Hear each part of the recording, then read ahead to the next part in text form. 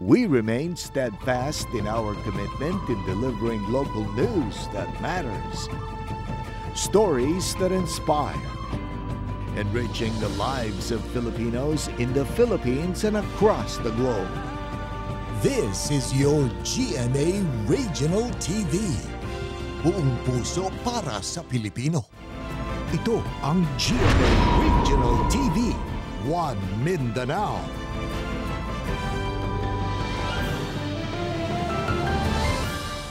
Mayong hapon Mindanao, kini ang GMA Regional TV 1 Mindanao. Hatod namo ang pinakadagko ug pinakauling balita sa Mindanao. Ako si Sara Hilomen Velasco, live gikan dinhi sa GMA Davao Complex. Cyril Chavez, live gikan dinhi sa GMA Cagayan de Oro Station. Jess Tony Humami live gikan dinhi sa GMA General Santos Station.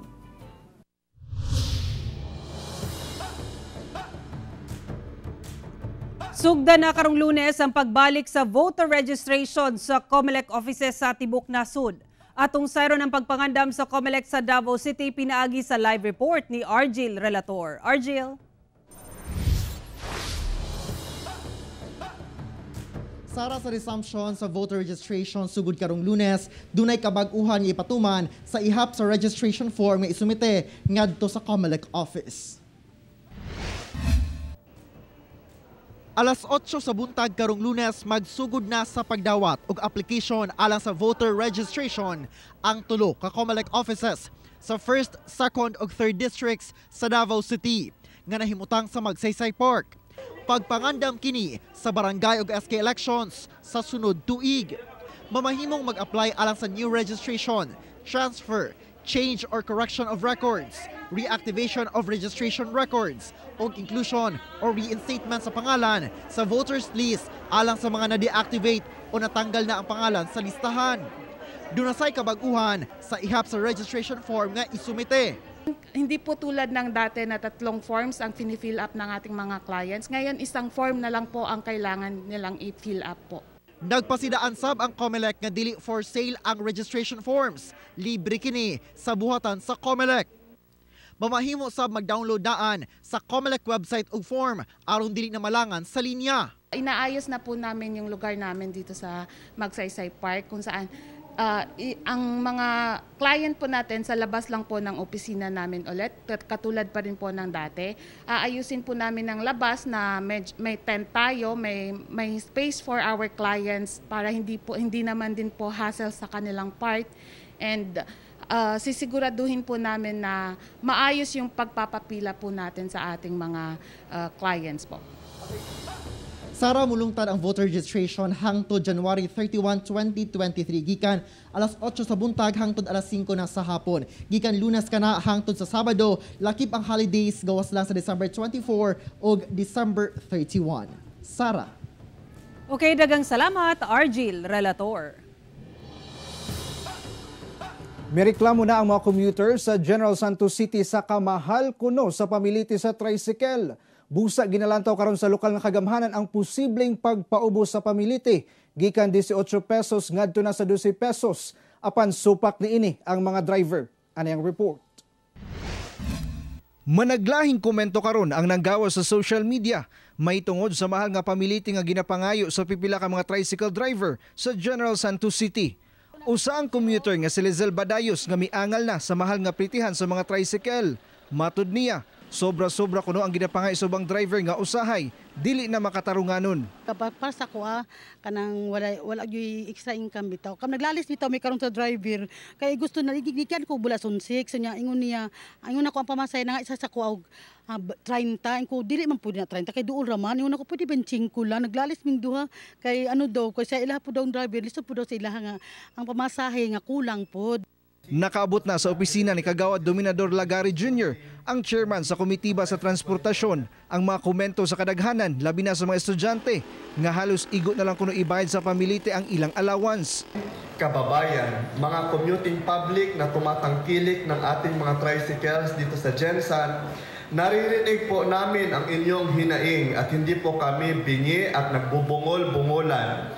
In fact, we have passed on second reading the resolution authorizing the issuance of motorized tricycle operators permit or franchises to the three-colored tricycle cooperatives Subay ni ini, giduso ni Kagawad Lagari ngadto sa Motorized Tricycle Franchising and Regulatory Board nga gikan sa 18 pesos nga minimum fare, paubsan ngadto sa 12 pesos matag 2 ka kilometro ang pamiliti sa mga tricycle. Butang nga gialmahan sa pipila ka tricycle drivers, matud nila kulangon pa gani daw ang ilang ginakita matag adlaw sa pagpamasada, labi pa sa mahal nga presyo sa gasolina. tanahon po nila ang sitwasyon sa driver. Kay kung eh, ano na to sa among panginabuhi, kulang yun eh. Kung ibalik sa 12 pesos. So naara na niya kung siya, sila may nagdesisyon sa transportasyon, sa pamasahe, Matod sa MTFRB, ila pang tunan ang sugyot nga pagpaubos sa pritihan. Gipaabot nga hisgutan kini sa ahensya sa sunod nga mga simana. Kauban si Bong Vicencio sa kamera. Ako si Jess Tony Humamil para sa One Mindanao.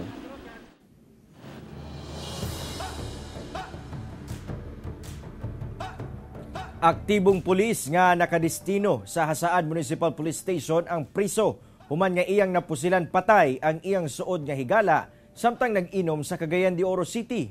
Aning report.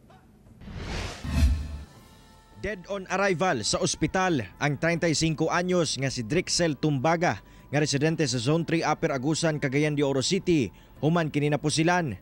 Suspect ang higalang pulis nga si Police Staff Sergeant Junlit Lubino. Nasayran nga si Lubino ang nakadestino sa Hasaan Municipal Police Station.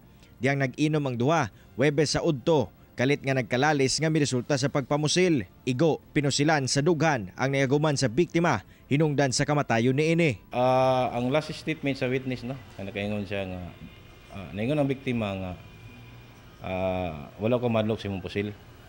Ah, so according po sa police nga wala siya kadumdum nganong nakablit niya nganong uh, napusilan niya ang ano ang biktima wala po siya kadumdum Gilayon na dakpan sa mirespondeng kapulisan ang sospek kinsa lango pa kuno sa ilim ng makahubog niadtong tungura. Kasong murder ang gipasaka sa kapulisan batok sa sospek nga pulis o posible sab kini mag-atubang og kasong administratibo. Wala na makuha og pahayag ang sospek human nga gipailawom na kini sa inquest proceedings. posible no ang atong ah, regional internal Affairs service no automatic man basta na ay ah, involving firearms especially ang personnel so automatic mag-conduct sila ng motor vehicle investigation so sila na bahala na mag-file kaso sa admin case Panawagan sab sa kapulisan sa mga tawong adunay armas ug labi na sa ilang kabaro nga likayan ang pag-inom. Kung dili malikayan, ibilin kini sa luwas nga lugar samtang maglingaw-lingaw aron malayo sa disgrasya. Kauban si Makoy Sempron sa kamera.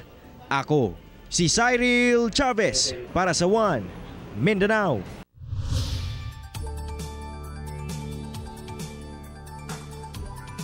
Padayong ginabantayan sa pag-asa ang low pressure area nga anaa na sa sulod sa Philippine Area of Responsibility. Sumala sa pag-asa anaa sa 415 kilometers east northeast sa Hinatuan, Surigao del Sur ang maong LPA. Posible kining mahimong bagyo sulod sa 24 hangtod 48 ka oras ug tawagon kining bagyong Rosal ang ika-18 nga bagyo karong tuiga. Base sa wind forecast sa Metro Weather, moduol kini sa Visayas, Mindanao area nga magdala og mga pag-ulan. Posible sab ang pag-ulan sa pipila ka bahin sa Mindanao, ilabi na sa hapon karong weekend. Tibok dapit sad sa Mindanao adunay mga pagdagom ug inubanan nga adunay pagkatag-katag nga ulan. Pagpanugdog pagpangilat epekto na sa trough or extension sa dagom sa maong low pressure area.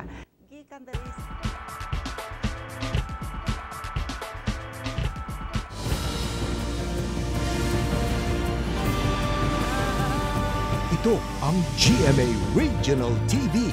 One Mindanao.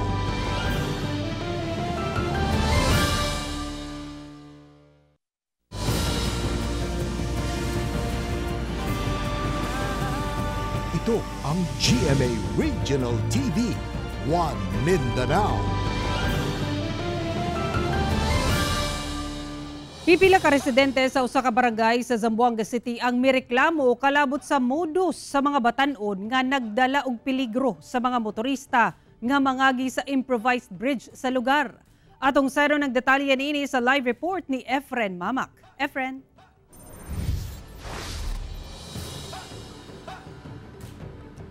Sara, matod sa mga residente, basaon sa mga batanon ang dalan sa improvised bridge sa barangay Tumaga dinhi sa Zamboanga City aron kuno maglisod og tungas ang mga nagapangagi nga sakyanan. Ginasingil sab kuno sila og bayad sa mga batanon. Agua, Tatalya. Kini ang aktual nga video sa pagyabo og tubig sa mga batanon sa usa ka parte sa improvised bridge sa barangay Tumaga, Zamboanga City. Ang pagbasa sa dalan nahimong perwisyo sa mga motoristang manglabay. Gawas nga delikado nga agian ang mismong tulay, maglisod sab sila pasaka sa ilang sakyanan tungod sa kadanlog sa dalan. Modus sa mga batanon ang pagbasa sa dalan aron magpatabang ang mga motorista unya singlon sa serbisyong pagtulod sa sakyanan. 15 to 16 years old, tabas siya sila agwa agi sir. Tabas siya sila agwa na DP, pidi sila, ayuda ka, ayuda, ayuda kami kon ustedes, kaya to sell motor, asi subi, na kanila kal tamanda, natapaga ka kanila. Eh, amo lang si tabring ka sila na agwa sa kagwa, bas siya sila. Nabin delikado gat sir. Tan kan kon si sila sir una, tan bang, baka man baganche, dia ganyan kay Ali, dakal dia. Tapi dita grasa sa ira si Akel pwede ka sa Abdul Arriba Puente. Matod sa barangay council, giabisuhan na nila ang mga residente nga badlungon ang mga batang makitaan nga nagayabo og tubig sa dalan. Cuando sabi yo, yan dayo, yan kwento kanyo ko ng mga akil kienser katakeda, ablay si Tamira mga bata sina, no permiti ablayo kay hindi gani si bueno kay hindi all the time pwede sila suspende agwanta con el vehikulo baka no baya sila pa ilya desgrasya. Sumala sa barangay council, ginahulat na lang nila nga mahuman ang construction sa four-lane bridge nga proyekto sa City Engineers Office sa lugar aron makaagi na og tarong ang mga motorista og dili na sa mismong improvised bridge.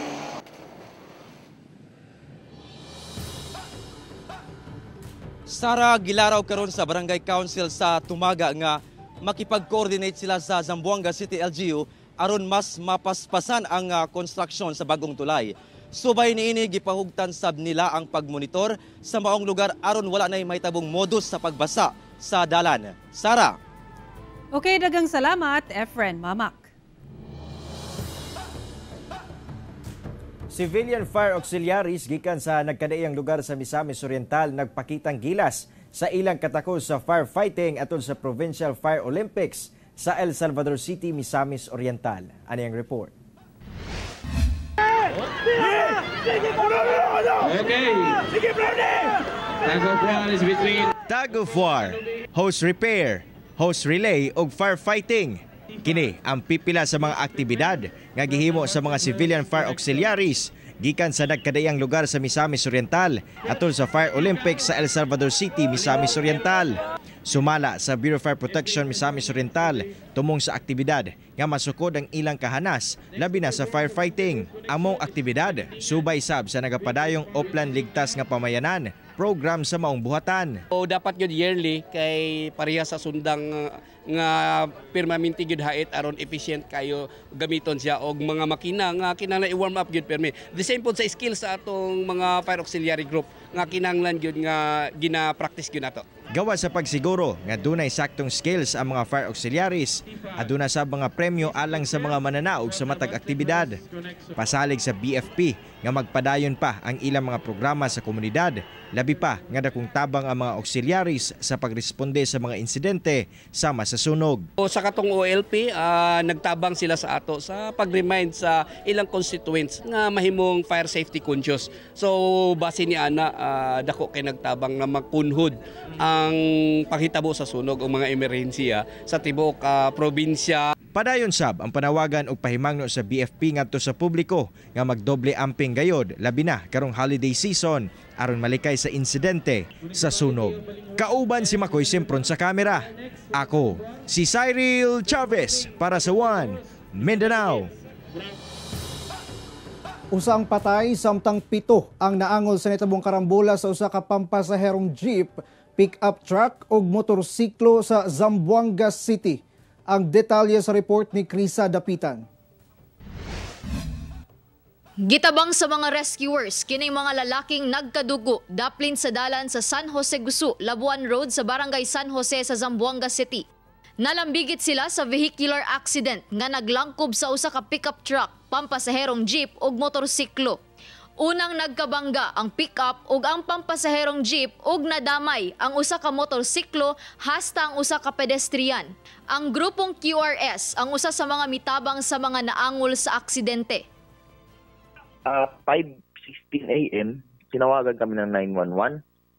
So, agad-agad kami pumunta doon. Uh, yun, nung pagdating namin, may dalawang ambulance, seven, seven casualty. Ginawa namin yung part namin, nagbigay ng first aid and nag, nag-coordinate sa mga concerned agencies. Usa ka pa mailang lalaki ang dead on arrival sa ospital samtang pito ang naangol. Padayon pa ang investigasyon sa kapulisan sa maong vehicular accident. Kaya hindi pa natin ma-establish yung ano. Especially mayroong namatay kaya kailangan toro, toro talaga yung investigation. Dahan-dahan lang talaga tayo na kahit sabihin natin na madaling araw, buwelo ang ano natin, wala tayong nakikita mga kasalubong, kasabay. Eh, talagang observe talaga tayo ng proper speeding. Kauban si Alter Rosales sa kamera. Ako si Krisa Dapitan para sa One Mindanao. Mitambong si kanhi Pangulong Rodrigo Duterte sa paglusad sa usa ka multi-specialty clinic sa Davao City. Atol sa kaugdahan, gibutyag niini nga kampante siya nga maundang ang korupsyon sa Department of Education ilawom sa pagdumala sa iyang anak nga si Vice President Inday Sara Duterte. Yung report ni John. Esteban? Si kanhi Presidente Rodrigo Duterte ang nanguna sa paglusad sa usa ka state-of-the-art diagnostic laboratory ug multi-specialty clinic Webes sa gabii. Ang maong clinic nagkanayon nga maghatag og kalidad nga medical services sa katawhan. That's we are actually gearing up to be partners with uh, PhilHealth and to be accredited with Consulta, uh, outpatient benefit package. And uh, we are looking forward that we this facility can uh, will be accredited, and uh, of course can be also be accredited by Lingap and the Malasakit. We don't only cater for uh, alleviating uh, symptoms and uh, problems of patients, but uh, we also focus on prevention. Uh, in fact, it's the reason why it is important that you have a good outpatient uh, services so that they don't end up flooding all our hospitals, whether private or government hospitals. And we can see most of our hospitals are all flooded. Sumala ni former President Duterte, dako ang matabang sa maong klinik, labi pa nga guot na ang mga nagunang ospital dinhi sa syudad. Tungod sa kadaghan sa mga pasyente, ilabi pa nga ginakater usab niini ang mga pasyente gikan sa laing mga lugar. So I'm happy that uh, a lot of people has thought of uh, putting up itong mga ganito. Uh, so it will bring a competition and just maybe also bring down a little bit uh, the cost of medical care. Samtang kampante si former President Duterte sa pagdala sa iyahang anak nga si Vice President Inday Sara Duterte isip DepEd Secretary. Iyang gisiguro nga maundang ang korupsyon sa maong departamento. This I can assure you. Yung corruption ng education will stop.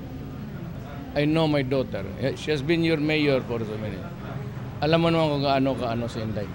Gina-enjoy usab daw niya ang iyang pribadong kinabuhi karon, isip ordinaryong lungsuranon. Dinhira sab daw siya sa Davao City magpasko, uban ang pamilya. I spend day and night grooming myself to back para gumanda. So nakikita ka pa rin na nagmumotor? Oh, I still ride the motor, uh, but uh, trike na. Hindi na yung two wheels because of late I've been suffering uh, an imbalance. Sakit ng matatanda yan. Matanda na ako. Usually on Christmas Day, uh, nagbo-blow out ako for the entire, yung mga tao lang na those who could uh, endure walking or maybe may pamasahe to dine with me, break bread, and there's a little uh, program. Human sa event, may diretso ang kanhi presidente uban si Senator Bongo sa usa ka dakong mall sa Lanang aron makighalubilo sa mga bata nga dunay cancer nga iyahang gyapon apuran og regalo nga ginahimo niya kada tuig. Kauban si Mel Colmenares sa kamera. Ako si John D. Esteban para sa One Mindanao. AFP Chief of Staff Lieutenant General Bartolome Vicente Bacaro Gibisita o gipanghatagan og regalo ang mga samaran nga sundalo sa AFP Hospital. Ani ang report. Gipangunahan mismo ni AFP Chief of Staff Lieutenant General Bartolome Vicente O. Bacaro ang gift-giving activity alang sa mga samaran nga sundalo atol sa mga nahitabong engkwentro batok sa nagkadiyang teroristang grupo sa nasud nga anaa karon sa AFP Hospital. Kauban ni Lieutenant General Bacaro ang ubang dagkong opisyal sa AFP. Tinuig na kini nga kaugdahan sa kasundaluhan agig pagpasalamat sa ilang pakigbisog alang sa seguridad sa nasud. Well, uh, ang beneficiary natin uh, for today is uh, lahat ng uh, kasundaluhan that are uh, trying to recover here dito sa Viluna Hospital. And uh, ang medyo focus ko ngayon are the battle casualties. Uh, we would like to, ayun nga, sabi ko, bring the spirit uh, of the holidays, particularly to the battle casualties. And uh, wish them uh, immediate recovery. No? Ilabihan ang kalipay sa mga sundalo nga nagpaayo sa AFP Hospital. Wala kuno sila magdahom nga bisitahon sa ilang opisyal ug makadawat og regalo karong Pasko. Uh, Siyempre po masaya. Uh, hindi lang dahil nakatambak, nagat, nakatanggap po kami ng regalo, mas pinaka-importante po sa amin is yung time na nilaan ng ating uh, Chief of Staff ng Armed Forces of the Philippines na makasama kami at bigyan ng parangal sa naiambag namin sa uh, bansang Pilipinas. Ano na lang ma'am, in behalf sa mga kasamahan kong mga battle casualty, kami po ay nagpapasalamat sa aming AFP Chief of Staff, lalo-lalo na sa ating presidente, si Pangulong Marcos. Uh, sana po ipagpatuloy niya po yung pagsuporta sa amin po mga kasundaluhan po. Ginahimo kini sa AFP aron mapahalipayan ang mga sundalo nga andam itagana ang ilang kinabuhi alang sa kinatibukan. Uh, these soldiers have given so much no in uh, fulfilling yung mandate nila which is providing security to the Filipino people and protecting uh, our sovereignty. Ako si Sara Hilomen Velasco para sa One Mindanao.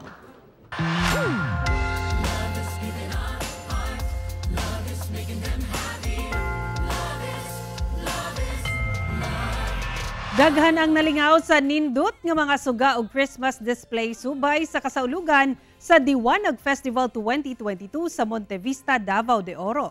Ani report ni John D. Esteban.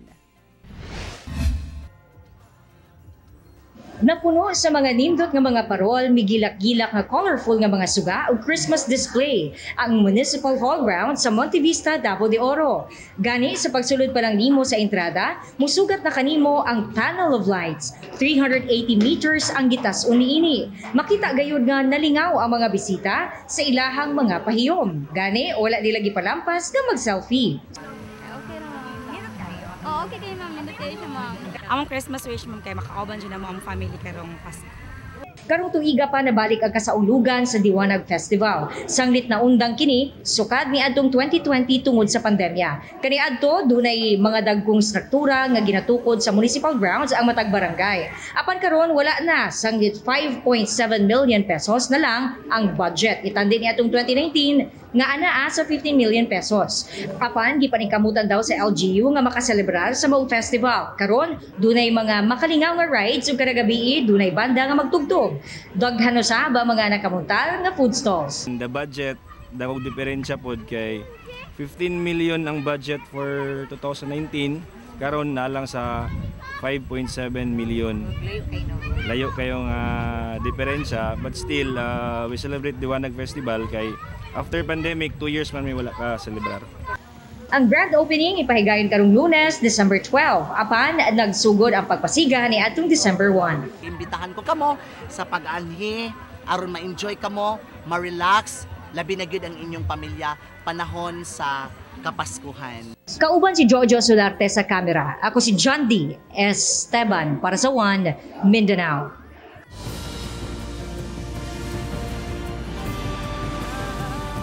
Ito ang GMA Regional TV, One Mindanao.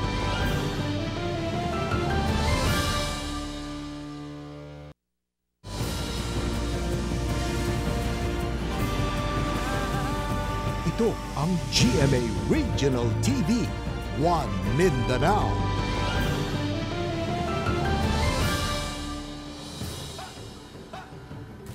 Pipila ka mga residente sa Upper Puerto gireklamo ang baho nga gikan sa usa ka planta sa Cagayan de Oro City. Maong planta gipakita ang ilang ekipo aron makontrol ang baho. Andam sab silang musunod sa itakda sa LGU. Ang detalye sa report ni James Paulo Yap. Problema karon sa pipila ka residente sa Zone 8 Upper Puerto, Cagayan de Oro City. Ang baho kuno sa ilang palibot. Ang ilang ginatudlong gigikanan sa baho ang usa ka rendering plant nga ana sa lugar. Ang maong planta ga proseso og mga waste nga gikan sa mga dressing plant sa mga manok aron himuong additive sa feeds. Nay na nga on tapos ning lakaw tungod sa kabaho. Kuan mo naanad na lang pud siguro mi kay daw tawad naman bidere mag nga buta na siya tolerable lang bitaw sa ako. Ako lang hangyo gyud unta sila sa, sa ila sir. Kung mahimo, pangitaan gyud na nila paagi nga ma mawala-wala ang baho. Sumala sa Barangay Puerto, pipila ka mga residente ang miduol kanila mahitungod sa maong reklamo.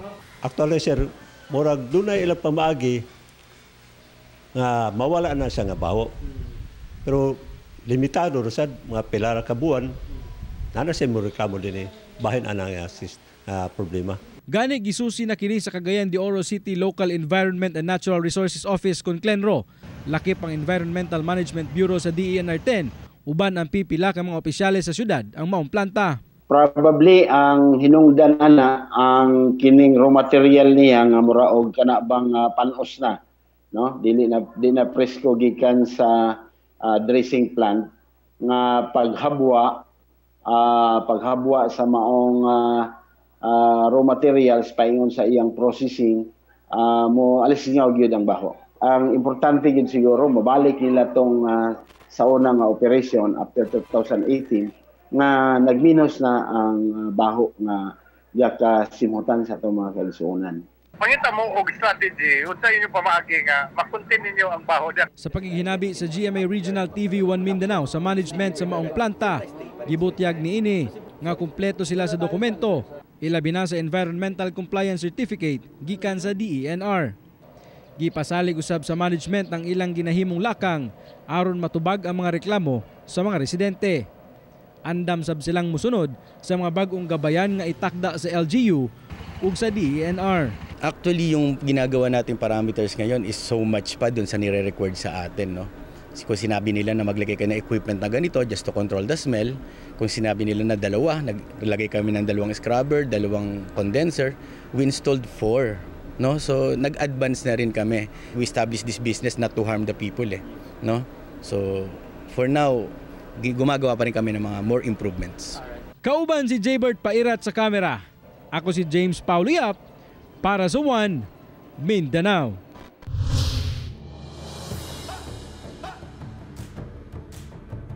Gikakurat sa usa ka residente sa Zamboanga City dihang dunay walo katiil ang gipanganak nga baktin sa iyang anay nga baboy. Ang detalye sa report ni PJ De La Peña.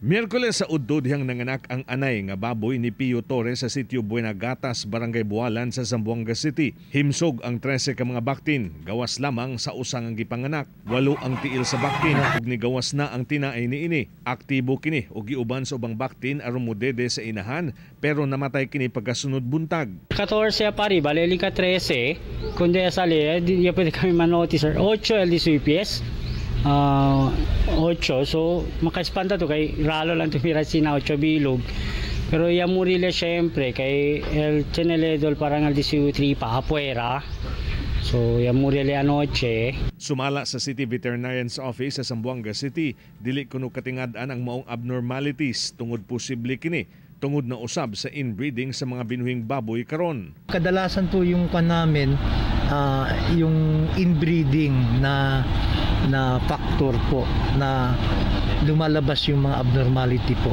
Uh, sa genetic po yan ang ang ang cause ng mga abnormalities po. Plano sa tagiya sa baboy nga i-preserve ang namatay nga pinasahing baktin nga adunay walo katiil. Ako si PJ De La Peña para sa One Mindanao.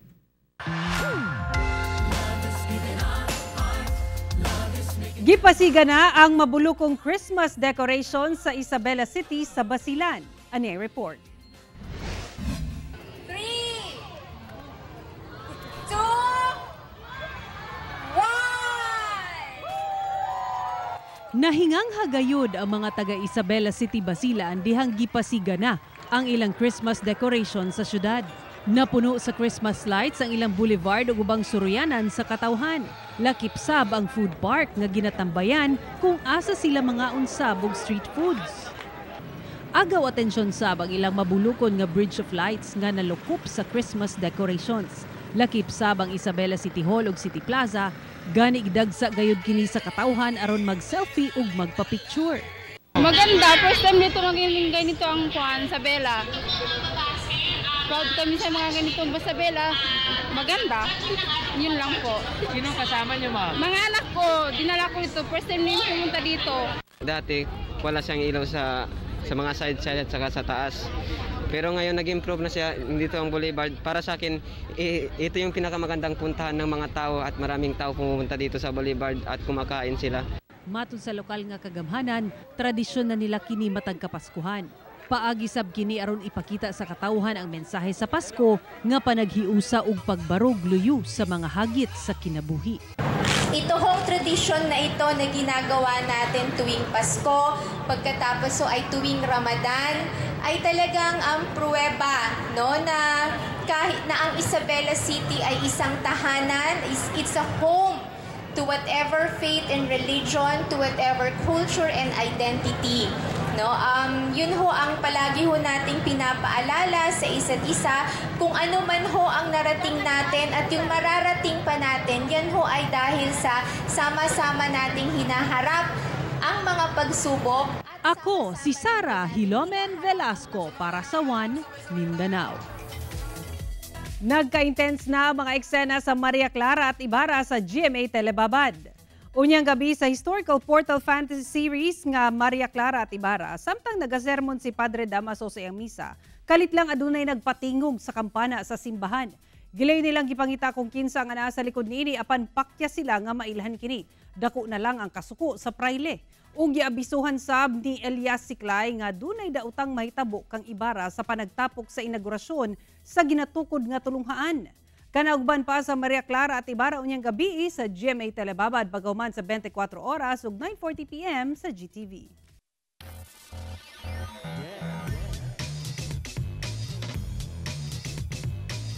Luis Sanggalang ug Kurt Rayson sa Letra Knights nagpakitang gila sa Game 1 sa NCAA Finals. Sikreto sa ilang kadaugan gipadayag sa ilang duha ka best players. Ani report. After ng game na namin sa LPU, talagang nag-prepare na kami mentally, physically. Talagang prepare na namin sarili namin para sa upcoming finals.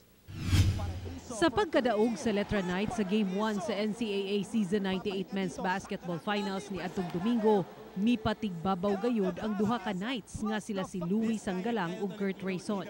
Mitala og career high nga 24 points si Sanggalang ug gidugangan pa og double-double nga adunay 10 rebounds. Si Rayson, bisan gikan sa bench, midugang og 13 points ug tulo ka assists. Paunsa ka gipangandaman sa duha ang talag sa dula nga ilang gipakita sa Game 1. the night before the game, nanonood ako ng mga highlights, ganun, para ma-focus ako sa game. Para yung sarili ko nandun talaga kasi pag hindi mo mapanood yung mga laro, eh, warang wala eh. Dapat pinapanood mo yung mga kalaban din, tsaka yung laro din namin. Ah, kami wala namang sikreto or something special. Talagang pinangahawakan lang namin yung defense namin simula pa umpisa. Sa depensa na talaga kami umaasa sa depensa ng buong team.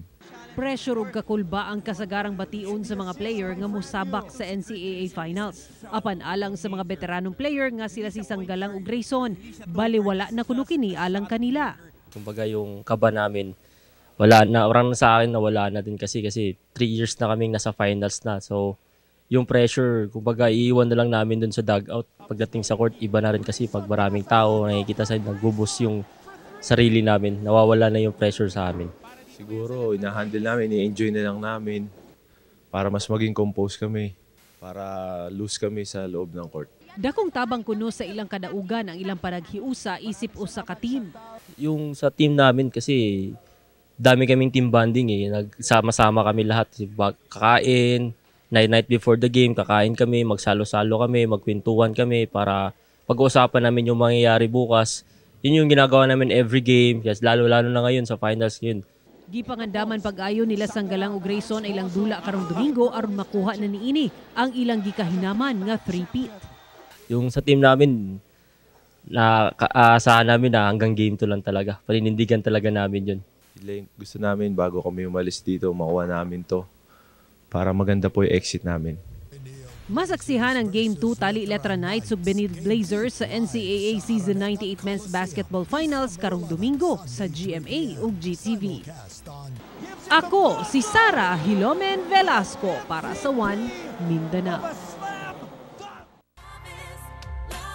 Mga kapuso, 16 kaadlaw na lang una magpasko. Ug mo ko to muling balita sa Mindanao karong adlaw. Daghang salamat sa atong mga kapuso sa Mindanao nga nagalantaw kanamo ug sa atong mga kapuso abroad. Padayon lang sa pagtutok sa mga lokal nga balita matag adlaw tungod sa GMA Regional TV Local News Matters. Ako si Cyril Chavez. Hangtod sa Lunes Pohon. Ako si Jess Tony Humamil. Kini ang GMA Regional TV 1 Mindanao. Sara Hilomen Velasco, buong puso para sa Pilipino. Happy weekend mga kapuso!